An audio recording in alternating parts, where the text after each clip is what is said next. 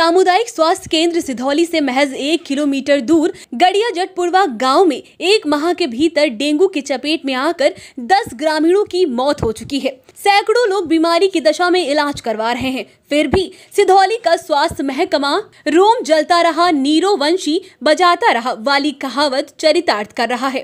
पैंतीस सौ अधिक आबादी वाले इन गाँव में अभी तक स्वास्थ्य विभाग की कोई ऐसी टीम नहीं पहुँची है जिससे ग्रामीणों को थोड़ी भी राहत मिल सके। यह आलम तब है जब बुखार पीड़ित सीएम हेल्पलाइन से लेकर डीएम, एसडीएम, बीडीओ तक से गुहार लगा चुके हैं। गाँव में गंदगी के अंबार लगे हैं। भुक्तभोगी ग्रामीणों का कहना है कि जाँच में डेंगू की पुष्टि हो रही है, परंतु स्वास्थ्य विभाग के जिम्मेदार यह मानने को तैयार नहीं हो रहे हैं। जबकि गाँव में कोई ऐसा परिवार नहीं है, जिसका कोई न कोई सदस्य बीमार ना हो और उसका इलाज लखनऊ व अन्य प्राइवेट अस्पतालों में चल रहा है। ग्रामीण जलीज, गुड्डू, आयूब अंसारी, शकील, जावेद। राजू का कहना है कि सफ़ाई कर्मी गाँव नहीं आता है। गाँव से सटे दो तालाबों में मछलियाँ मरने से भी बीमारी फैली है। आई इंडिया को अपने बीच पाकर पीड़ितों का दर्द कुछ इस तरह छलका। तीन लोग हैं, तीनों लोग बीमार हैं। डेंगू बुखार चल रहा है। हाँ जाँच कराया है कल भी जाँच कराई डेली जाँच हो रही है बराबर। कोई टीम नहीं आई, एक भी टीम नहीं आई, कई जगह बात की गई। सीएम हेल्पलाइन पे बात की गई, कोई भी नहीं आया। डीएम को बात किया, वो भी नहीं भेजा।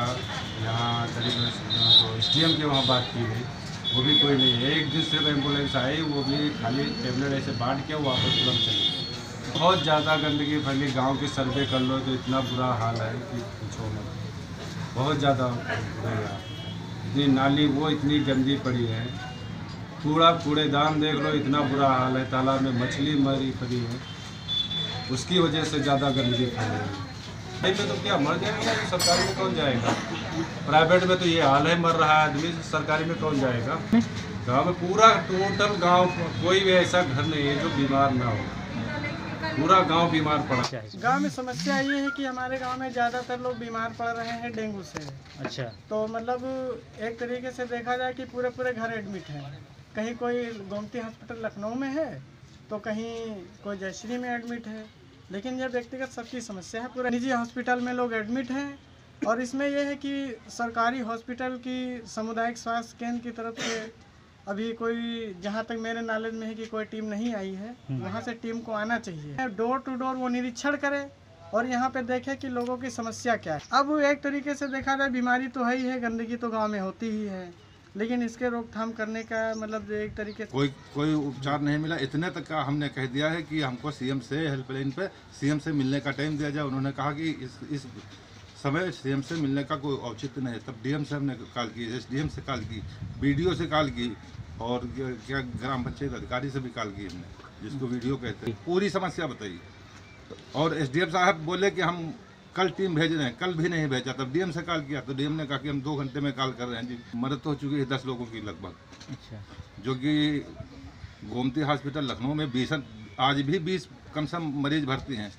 और तुम्हारे जयश्री डॉक्टर ताज और दीपक शुक्ला के यहाँ भर्ती हैं। हाँ जहाँ जहाँ पे जिन गाँव में जैसे कि गड़िया हसनपुर अहमदपुर जट मिर्ज़ापुर सिंहपुर और टेड़ई कला इन गाँव में बुखार की सूचना मिली थी।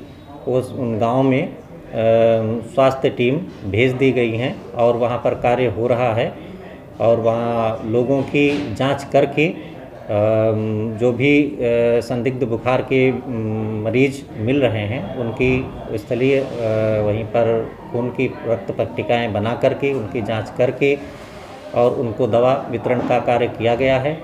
और साथ ही एंटी लार्वा का छिड़काव आशा और प्रधान के सहयोग से करवाया जा रहा है। जल भराव की जगहों पर है, नालियों में है। इनमें सब में उनका सबका छिड़काव कराया जा रहा है, जिसका कि आप वहाँ पर स्थलीय निरीक्षण कर पता भी कर सकते हैं। साथ ही स्वास्थ्य शिक्षाएँ दी जा रही हैं। किसी भी जैसे पानी, स्वच्छ पानी पीने के लिए और मच्छरदानी का प्रयोग करना, अपने पूरे शरीर को ढक कर के रखने वाले कपड़े और घर में कूलर इत्यादि, जहाँ पर भी जल भराव की स्थितियाँ हैं, उन सबसे बचने को सबको बताया जा रहा है। डेंगू की पुष्टि, डेंगू की जाँच के बाद में हो सकती है। जो लोग यहाँ जाँच करा रहे हैं, प्राइवेट जांचों में, जो उनकी प्लेटलेट्स कम आ रही हैं। प्लेटलेट्स कम आने का मतलब ये नहीं है कि उसको डेंगू ही हो। प्लेटलेट्स बहुत सी ऐसी बीमारियाँ हैं, बहुत सी ऐसे शारीरिक शारीरिक कारण हैं, जिनमें प्लेटलेट्स का कम हो जाना होता है। तो प्लेटलेट के आधार पर हम नहीं कह सकते हैं कि उनको कोई डेंगू की है। डेंगू का जाँच अलग होती है। उस जाँच में अगर जो उनको पॉजिटिव आता है तो उनको डेंगू का माना जाता है। उनको ये मैसेज है सभी ग्रामवासियों को, जो भी उनको डरने की ज़रूरत नहीं है अगर जो उनको कोई भी बुखार जैसी लक्षण परिलक्षित होते हैं तो वो तुरंत ही हमारे अस्पताल में आएँ और अपनी जाँच कराएँ और जो भी उन गाँव में जहाँ टीम जाती हैं, वहाँ पर अपने स्वेच्छा से भी वो लोग आएँ और हमारी टीम से अपनी जाँच कराएँ ताकि इस बीमारी पर अगर जो कुछ ऐसा है तो उस पर नियंत्रण पाया जा सके और इसमें यही सब प्रभावी कदम उठाए जा रहे हैं। वो भी उनको भी इसमें सहयोग करना होगा। सरकारी अस्पताल है निःशुल्क सारी सुविधाएँ हैं केवल उनको यहाँ पर आना है और अपनी जाँच करा लें। और दवाएँ भी मिलेंगी। आई इंडिया के लिए सिधौली से राजेश यादव की रिपोर्ट। खबर आपकी नज़र हमारी। देखते रहिए आई इंडिया।